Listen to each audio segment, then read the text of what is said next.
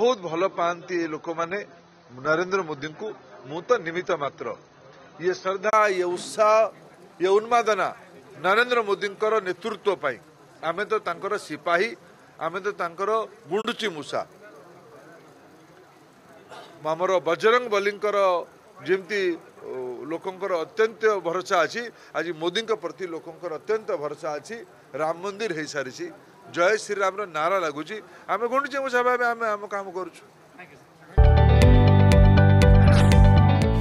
ଯଦି ଆପଣଙ୍କୁ ଆମ ଭିଡ଼ିଓଟି ଭଲ ଲାଗିଲା ତେବେ ଆମ ଚ୍ୟାନେଲକୁ ଲାଇକ୍ ସେୟାର ଓ ସବସ୍କ୍ରାଇବ୍ କରିବାକୁ ଜମା ବି ଭୁଲନ୍ତୁ ନାହିଁ